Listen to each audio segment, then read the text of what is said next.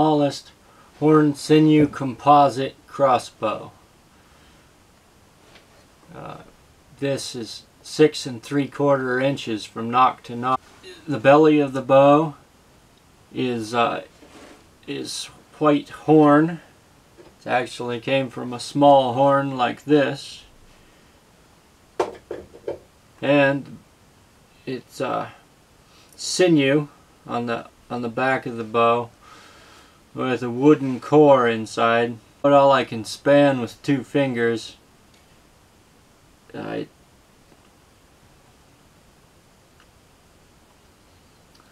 I think it's at least 35 pounds at 2 inches. So even though this, this little prod has a high poundage to draw back, since it's such a short power stroke, it's not uh, delivering a great deal of force into the uh, it doesn't have much time to accelerate the bolt very fast.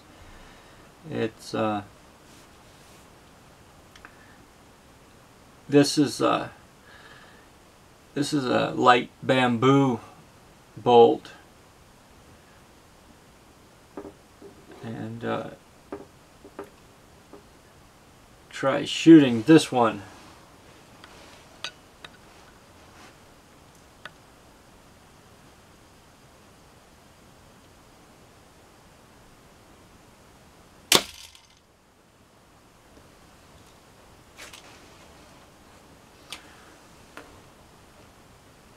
So this this string does come off and that's that wouldn't be good.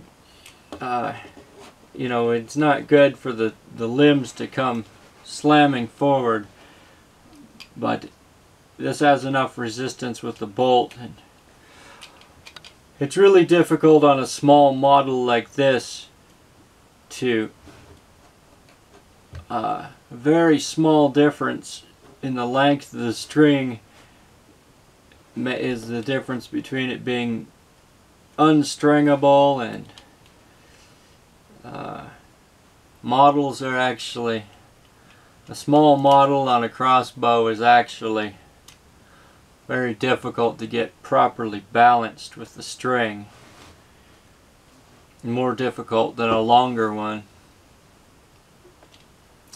Like this is uh, probably tell a little bit how difficult this draw this draw weight is. It's uh, it's a little bit painful to to span.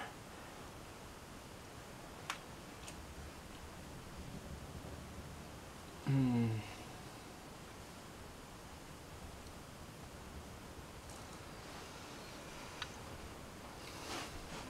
Now this this little bolt, it has a fairly heavy broadhead on it.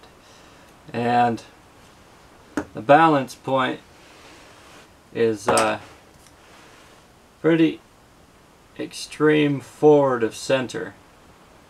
Balance point's way up here, so that's a, you know, that's a very heavy head.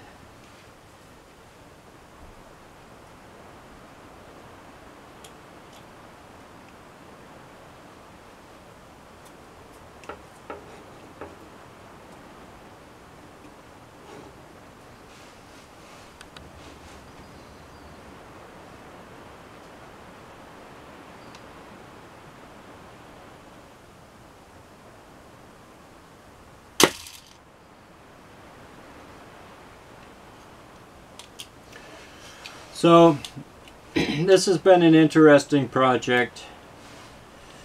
Learned quite a bit about how to work the materials from this.